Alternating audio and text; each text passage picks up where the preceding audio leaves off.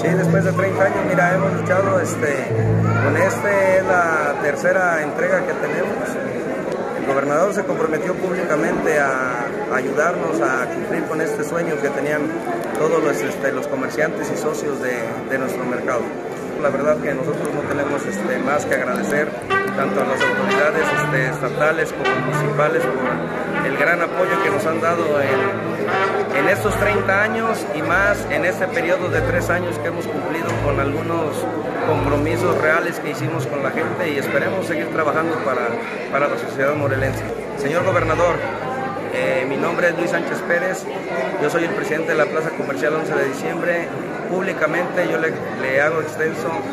el agradecimiento en el gran compromiso que usted hizo con nosotros para poder alcanzar este sueño que no es mío, es un sueño